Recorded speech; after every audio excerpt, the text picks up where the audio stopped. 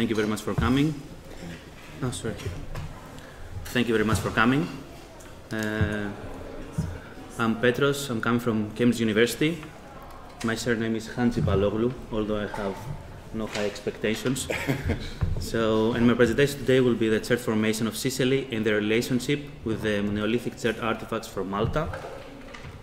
This will have three parts the Neolithic context of Malta, the chert formation of Sicily, and a petrological comparison between the Sicilian chert and the Maltese artifacts. Starting from Malta is actually a group of islands which lies in the middle of Mediterranean Sea, as you can see in this map. And during the late Neolithic, large-scale monuments, known also as stone temples, were built. Here is a picture of the islands, which shows the current cities and the main archaeological sites found. Excellent example of which you can see in these following pictures.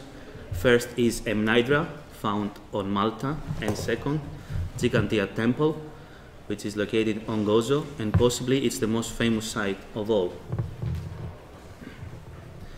The archaeological research so far has found important chert assemblages in these sites, of different size, shape, and style. And most of them are made from local material, example of which you can observe in these three pictures. However, many artifacts were made of non-local chert and they are described as exotic and basically it's of unknown source. Example of these artifacts and the different types of uh, exotic material you can see in these pictures. And there was a theory which suggests that a Sicilian origin of this chert basically uh, based on three main factors. The proximity of Sicily with Malta, the known chert outcrops located on the island, and the Neolithic activity and generally the prehistoric activity recorded on Sicily.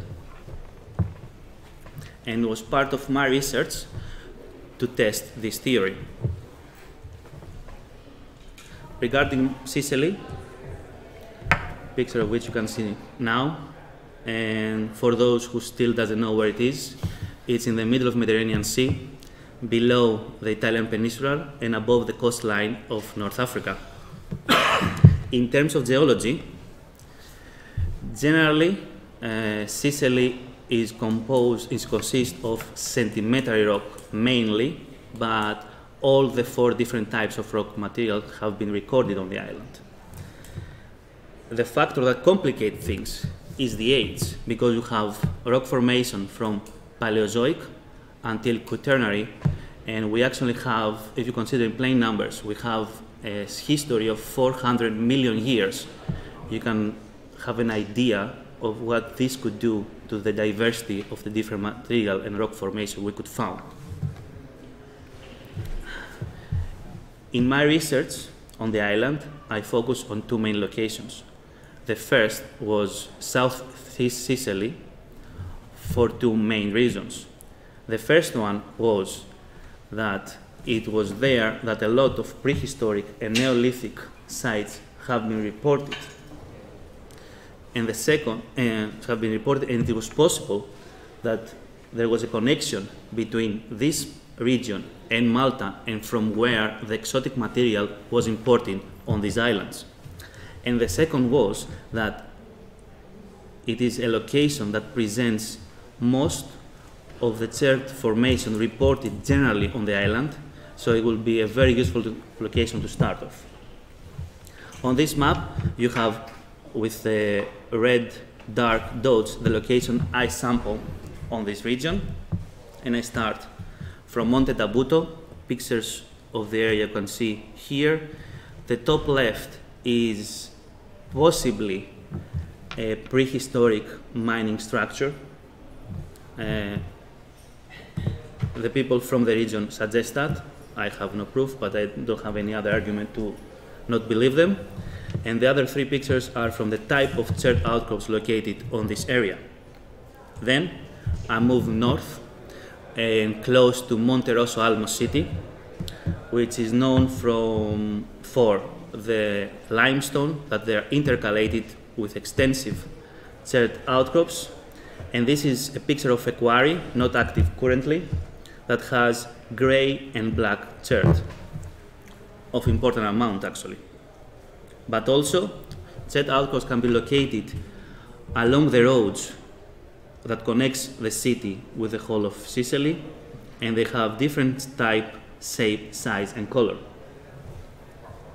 And, and the last location I visited in this area was, uh, I think, was the province of Monte Judica, and especially on Monte Santo and close to Valona River, where I, I located the oldest chert formation reported on the island, and I sampled. But the importance of this uh, location is shown in these two pictures. On the left, we have an impressive sequence of red chert material which could exceed the 10 meters high.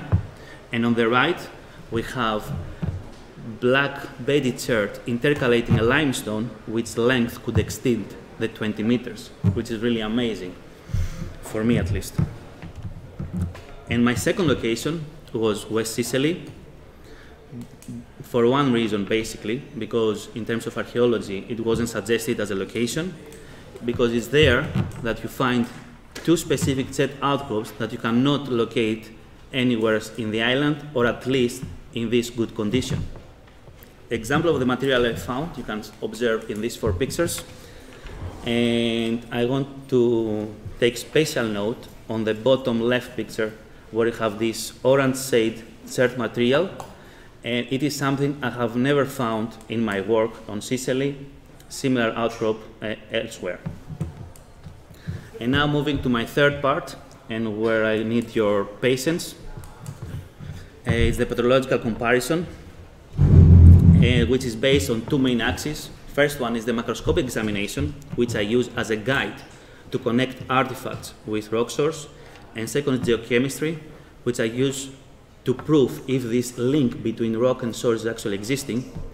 And I use, and I do that by using major elements to examine the type of depositional environment and sediments of the rock, trace elements to examine the level of oxygen during deposition, and rare earth elements, which suggest how rich in material were the inputs uh, during the deposition.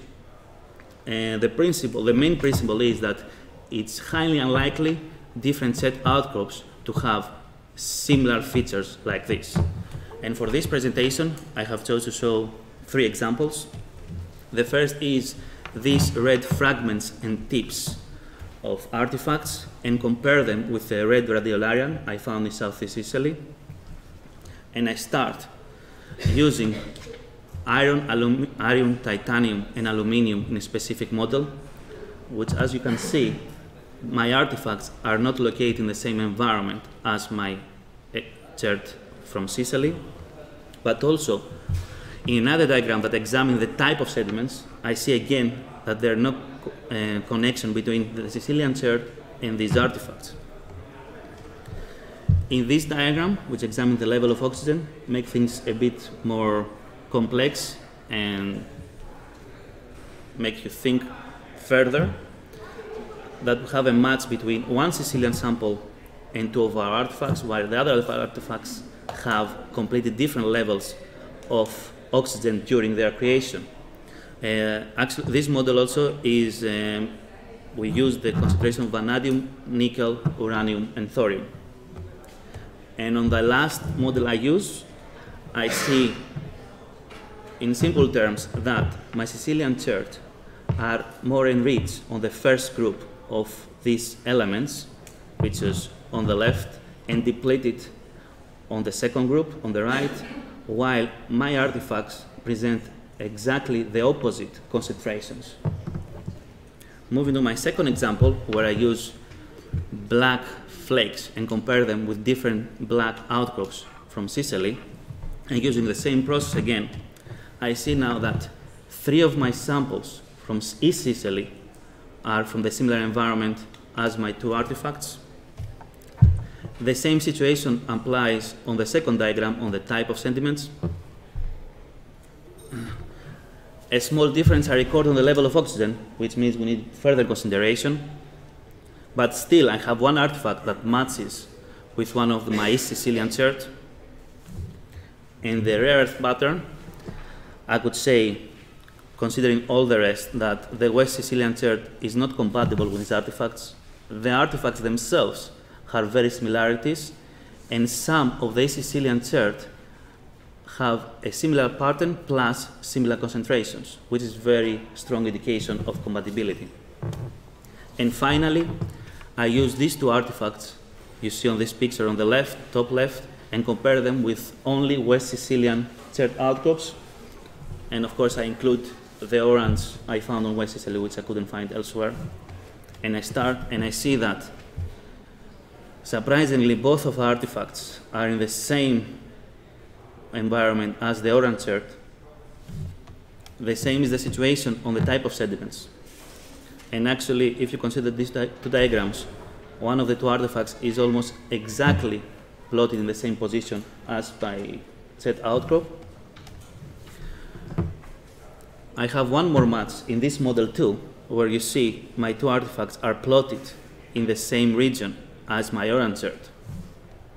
And finally, you see that we have almost a perfect match of the orange chert outcrops with these two artifacts. There are some small variabilities in concentrations, but this is acceptable for many reasons, which I could explain later. Uh, the purple chert I use, the second chert from Sicily, has a similar pattern, but the problem is that it's highly depleted in concentration, so we need further research on that. And to sum up, I have to say that the red artifacts from, from Malta are not related with the radiolarian formation of Sicily, Sicily the black chert artifacts are possibly related with the East Sicilian black cherts and highly likely with the Monte Rosso Almo formations. The purple chert must be related with the West Sicilian chert, just not with the orange one, the, the purple one, sorry. And finally, I could say with great certainty that the orange artifact is originated from the orange outcrops of West Sicily. Before the end, I would like to thank Cambridge University, the FRAGSUS Project, and Heritage of Malta for allowing me to do this research. And finally, I thank all of you for participating, surviving, and being here. Thank you very much.